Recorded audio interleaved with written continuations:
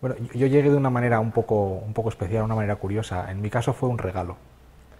Eh, yo habitualmente dedico el tiempo de mi ocio a la lectura y cuando normalmente en Navidad te regalan libros, pues mi mujer tuvo la ocurrencia de, regalarme unas clases de lectura. Yo habitualmente tengo poco tiempo y a lo que he venido ha sido a clases de lectura. Es una clase que se da una vez por semana en la que un grupo de gente lee el mismo libro, se reúne y, y lo comentan o lo pone en común, desde el tema del libro hasta lo que quiere decir el libro, hasta la forma en la que está escrito, un poco comentar todos los aspectos del libro, es un poco poner en común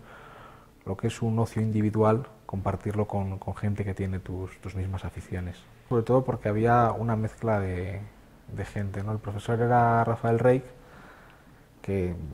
pues, enriquece muchísimo las clases, nos lo pone muy fácil, nos ayuda mucho,